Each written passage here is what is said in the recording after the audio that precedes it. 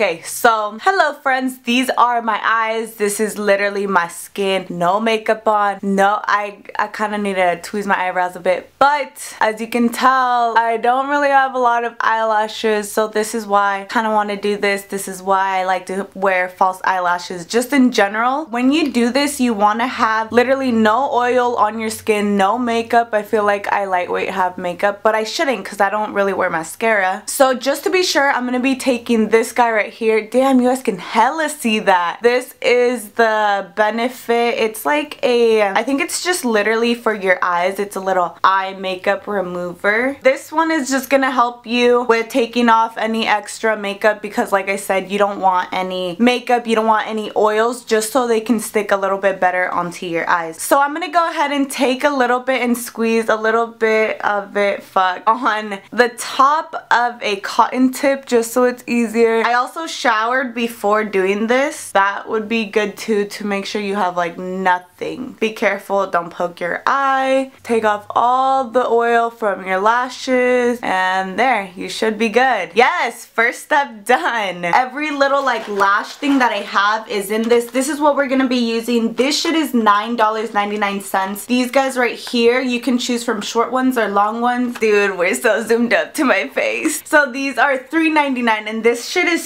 so inexpensive. So I keep everything in here just so I don't lose track of anything. I'm gonna be using this little compact mirror because I don't have anywhere to place my big mirror. So this is gonna be a little bit harder for me, but for you guys, just get like a mirror, probably if it has like the magnetic side. And the kit comes with this. This is what's gonna help you take off your eyelashes once you're freaking tired of them and you don't want them anymore. And then this one right here is the glue and then these tweezers, bruh, these are so bomb. These work so good even if you just want to like tweeze your eyebrows. I fucking love them. I already have another one. And these are the lashes that we're to be using too. So starting, I'm to be taking the longer eyelash and I'm to be starting with those and putting them all right here. And the medium ones will go like all from like right here to right there. And then the short ones, I can put them closer. That is what the long lash looks like. That looks so freaking creepy. I hope that this video is very helpful for you guys because I know I ain't got the funds to be paying someone to do some eyelash extensions for like over a hundred dollars. So I like this because you get to choose how full you want your eyelashes, how long you want them, and you get to take them off really easy. I'm gonna look up and I'm gonna put it right at the end. Woo! Holy shit, I did it! There we go. The first one is on. Holy fuck, this is sticking so good. Now I'm gonna go ahead and take another one of the long ones. That's kind of where I'm starting. It's so crazy how eyelashes can like change your eyes. Like I fuck with eyelashes so hard. Same thing, I'm gonna go ahead and pop it right under my lashes. And there we go. We got our second part on. It's really easy to do it. It's just honestly so time consuming. The last time or the first time I did this it took me literally like one hour and a half. One hour to one hour and a half. So I'm gonna go ahead and put music over the next part as I'm doing my eye just because it's literally the same thing repeating and then you put on medium ones where you want to make them look more full and then you put the short ones right here. So yeah I hope you guys enjoy the rest of the video and I will see you guys once I'm done with both of them. I'm just gonna be doing this one just literally for time.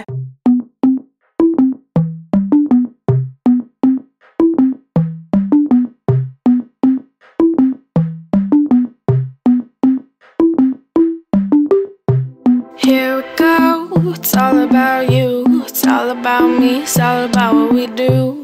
Making art, you and me, trying to find something to believe. Because I'm running wild, I ain't running free. Still got a lot of shit left to see. I'm stuck in this town, and the town's stuck in me. Always trying to find another reason to leave, but we sit at home, all alone.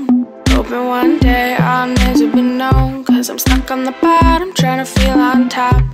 Wishing everything would just come to a stop.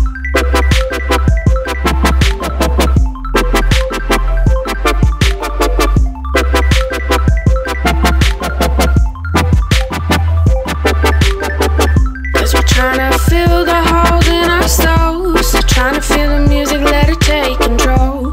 Stuck on the bottom, trying to feel on top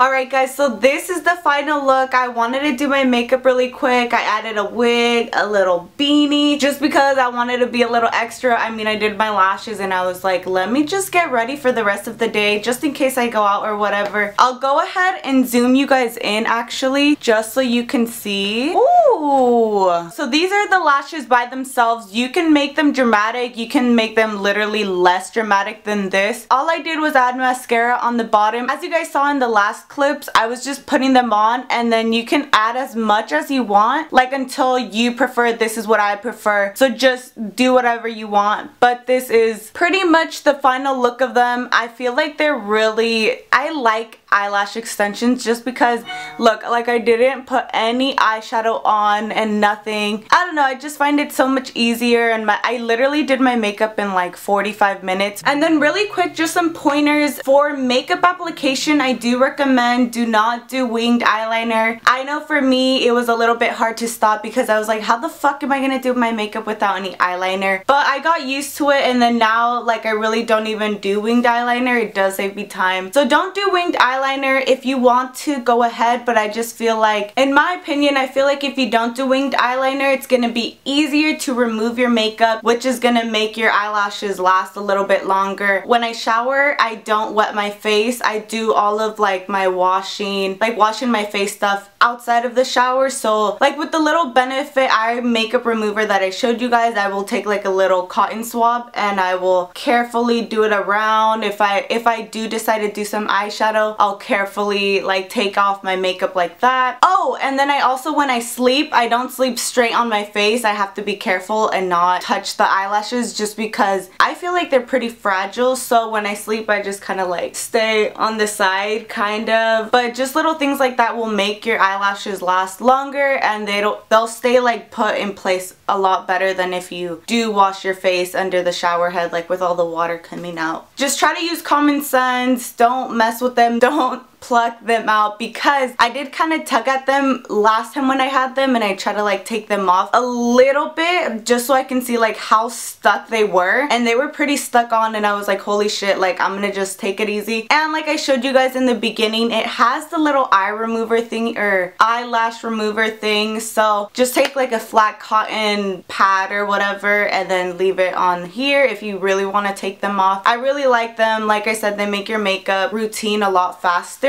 and my lipstick or lip liner is Stripdown from MAC and then I put I just got this yesterday the Too Faced lip injections just the original one. Oh it matches. It like stings for like 5 to 10 minutes and then it goes away but I just got it because why not? That's gonna be the whole video. I hope that this was helpful. I hope that you guys can go ahead and try this yourselves and you end up loving it because I like doing this a lot. I feel like I feel like it looks cool. Like it's easy. Why not? I will see you guys in the next video and thank you guys so much. Alright bye